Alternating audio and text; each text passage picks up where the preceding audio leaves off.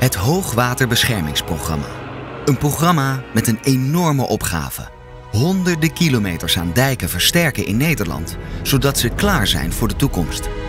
Want hoewel Nederland de veiligste delta ter wereld is, wordt onze kwetsbare delta op de proef gesteld.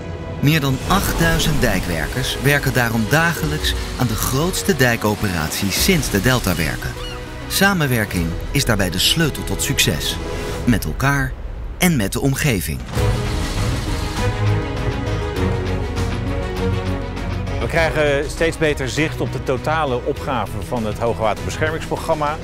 Eh, de teller staat nu op 1500 kilometer.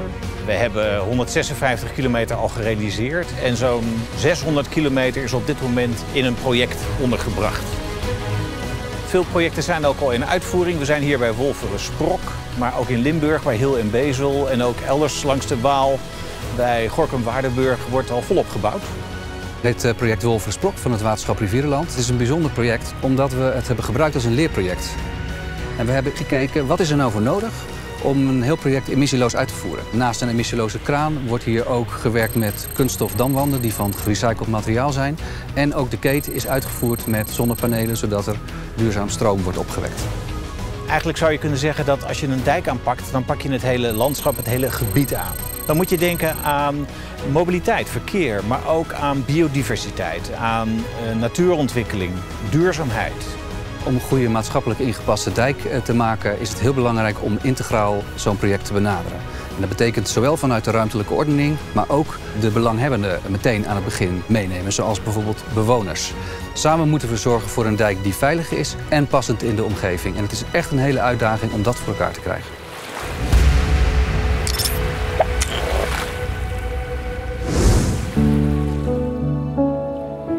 Tijdens het ontwerpen van zo'n maatschappelijk ingepaste dijk is de inspraak van bewoners enorm belangrijk.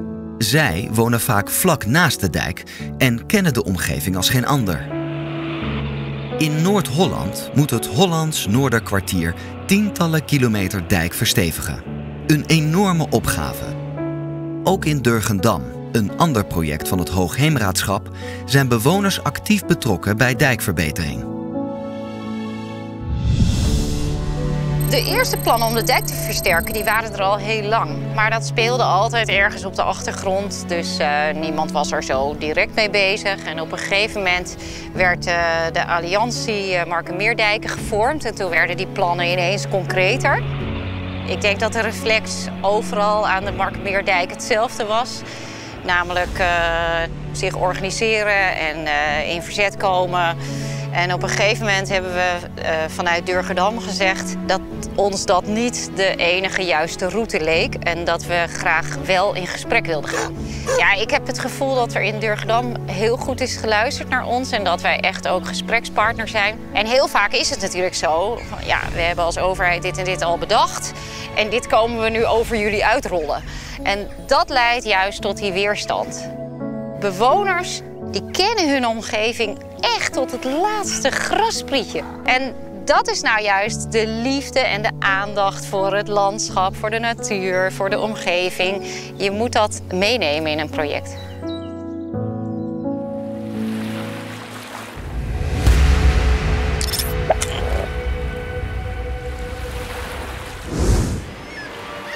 In de oostelijke uithoek van Groningen ligt een van de mooiste natuurgebieden van Nederland.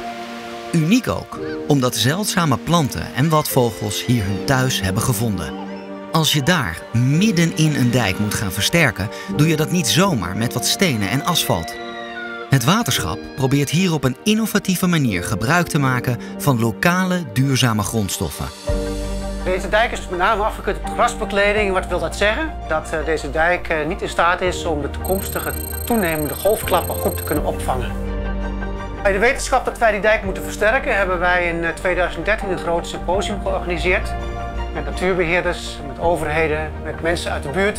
En we hebben hun de vraag gesteld, als wij die dijk zouden moeten versterken, kunnen we dat op twee manieren doen. We doen het op een traditionele manier en dan vervangen we het gras asfalt. Of we maken een dijk die prachtig in deze natuurlijke omgeving past. En dan wordt het een dijk van klei met gras.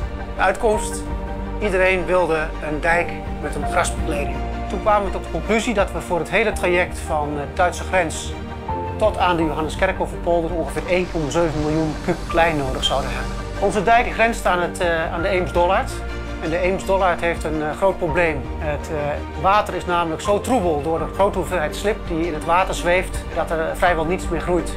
En wat is nou het mooie van dat slip wat in het estuarium zweeft, is dat het een prachtige bron is voor dijkenklei. In de kleirijperij hebben we Eems-Dollard slip in depots gebracht en die is gedurende drie jaar gerijpt. Dus je werkt met gebiedseigen grond, klei van dichtbij. Je hoeft daar niet voor te rijden met vrachtwagens of met schepen. Je haalt het gewoon uit de buurt.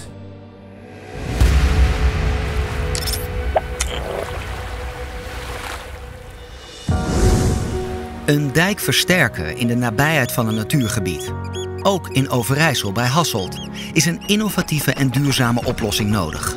De eeuwenoude stenen dijk is namelijk erg kwetsbaar voor veranderende weersomstandigheden in de toekomst.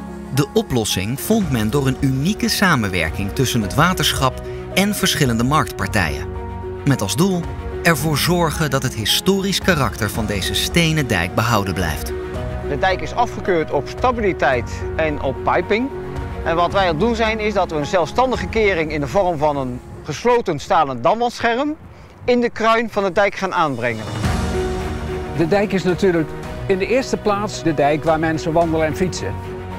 Maar daarnaast is het ook erfgoed, want uh, ook wij als bewoners zijn ons ervan bewust dat dit een dijk is van 500 jaar oud. En daarom zijn we ook heel blij om die damwand echt uh, onder het betonnen pad te houden, zodat het beeld dat zo mooi is niet verstoord wordt. Voor de aanbreng van de damwand hebben we vergunningen nodig. Dus we hebben gezocht naar uh, middelen om het volledig elektrisch uit te voeren. Met name het aanbrengen van de damwand, dat doen we met de Silent Piler. En wat we de afgelopen twee jaar gedaan hebben, is de Silent Piler om te wikkelen in een elektrisch aangedreven materieelstuk. Allereerst bespaar je natuurlijk fossiele brandstof, maar ook voor het geluid is een stuk minder, zowel voor de bewoners als ook voor uh, de weidevogels in de omgeving. De samenwerking met het waterschap is prima. We zijn aanvullend aan elkaar, we weten elkaar te vinden. Samen zorgen we ervoor dat binnen de afgesproken tijd het werk wordt gerealiseerd. Dijkversterking is dus veel en veel meer dan alleen wat extra klei storten. We combineren het onder andere met innovaties, ruimtelijke kwaliteit en duurzaamheid. Altijd samen met de omgeving. Zo maken we Nederland niet alleen veiliger, maar ook een stukje mooier. Ons werk is echt iets om trots op te zijn en het is relevanter dan ooit. Dat zie je aan zeespiegelstijging, maar ook aan steeds eh, grotere weerextremen, zoals bijvoorbeeld afgelopen jaar in eh, Limburg. Werken aan waterveiligheid is nooit af. Maar we hebben binnen de Alliantie HWWP zoveel kennis, ervaring en kunde dat ik met vol vertrouwen naar de toekomst kijk. Wij zijn begonnen.